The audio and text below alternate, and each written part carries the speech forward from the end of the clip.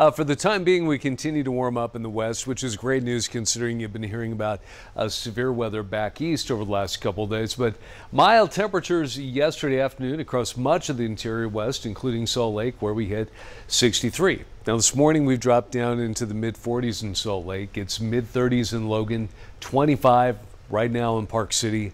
Uh, it's in the low 40s in Moab, 38 right now in Cedar City. So temperatures are all over the place. A lot of you will need a decent jacket when you head out the door, but uh, this afternoon, it's going to be comfortable enough to get by without that. In fact, even this morning, looking good. A few stray clouds in the north. Aside from that, we've got fair skies and the yellow on this map indicating that high pressure, which will be building, settling practically right over us tomorrow and then moving off to the excuse me, settling over us today, then tomorrow moving off to the east of us. That allows a southwesterly flow, and that will help the temperature climb higher than it has so far this week in fact, higher than it has so far this year. That's ahead of a trough low pressure. They'll be dropping in, sliding through at the end of the weekend. So by Sunday, we'll start to see a few showers, at least a chance of that. But that wet weather will become a lot more likely uh, by Sunday night into Monday. So take advantage of the warm spell while you can.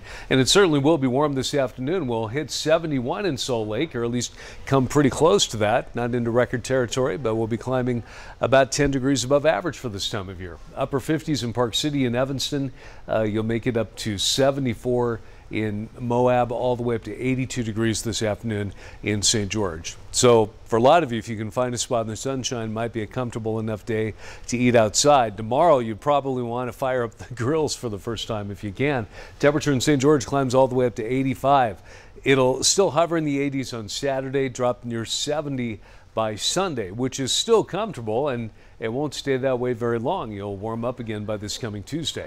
And in Salt Lake City, it'll be sunny and breezy tomorrow. That south wind helps the temperature climb all the way into the upper 70s. We're going to hang on to warm weather through the first part of the weekend. Sunday, kind of a transition day. It's starting to cool off, chance of a few showers later in the day, but those become a lot more likely by early next week. Temperature drops into the 50s by then and possibly cold enough for some snow to mix back in with rain in the valleys by this coming Wednesday.